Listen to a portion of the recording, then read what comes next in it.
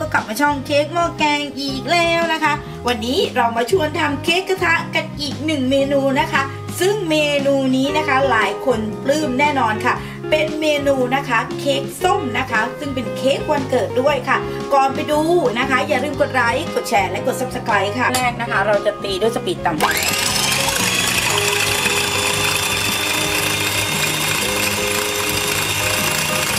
ประมาณนี้นะคะ ใส่น้ำมะพร้าวมะนาวลงไปค่ะ ตีสปีด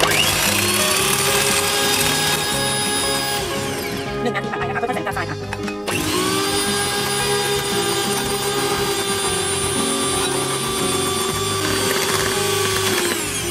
ตีจนไข่ตั้งยอดนะคะ นี่นะคะอ่อนประมาณนี้นะคะ แล้วค่อยๆใส่ไข่แดงนะคะ ทีละฟองค่ะทยอยใส่ไข่แดงนะคะทีละฟอง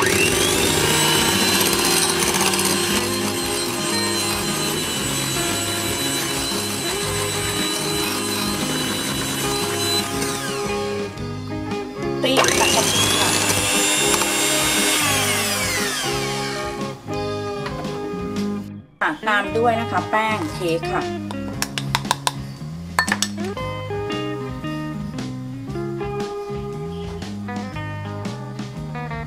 ของฟูค่ะ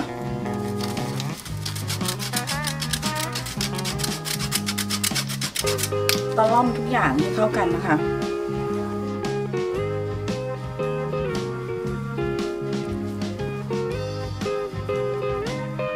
ามด้วยค่ะน้ำส้มนะคะ ที่คั้นไว้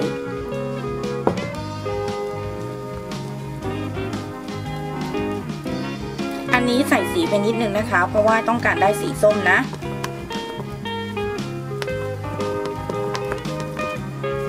ใส่สีผสมอาหารลงไปในน้ำส้มนิดนึงนะคะและน้ำมันมะกอกนะคะสองช้อนโต๊ะค่ะใส่ลงไปเลยค่ะให้เข้ากันนะคะ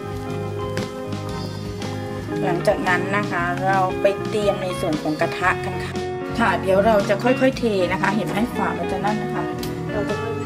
ค่ะส่วนของเค้กลงไปค่ะ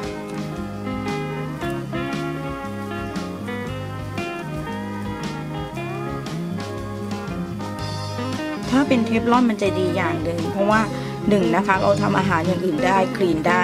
แล้วก็ที่สำคัญนะคะ ถ้าทำเค้กมันจะไม่ติด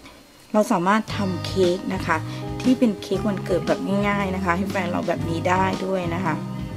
เดี๋ยวเราจะมาดูเนื้อสัมผัสกันนะหลังจากออกมาเป็นยังไงนะคะ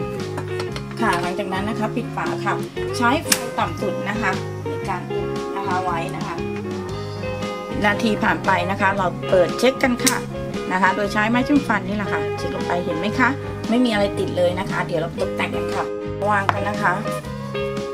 ค่ะ ทีนี้เราเริ่มแต่งหน้าเค้กเรากันนะคะ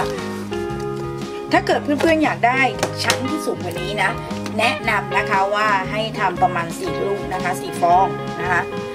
เริ่มใช้ซอสนะคะแต่งหน้ากันค่ะ ซอสส้มนะคะ วิธีทำอยู่ใต้คลิปนี้นะคะค่ะหลังจากนั้นเราก็ใช้ในส่วนของช็อกโกแลตนะคะโรยด้านข้าง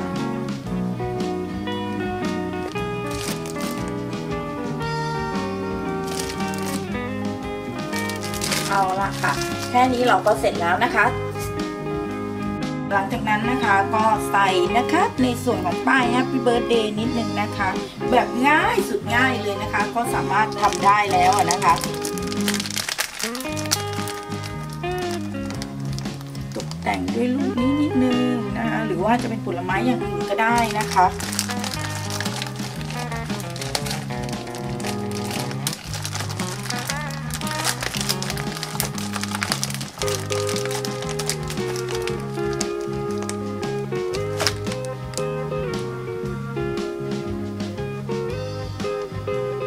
นี่นะคะ แค่นี้นะคะเราก็จะได้นะคะ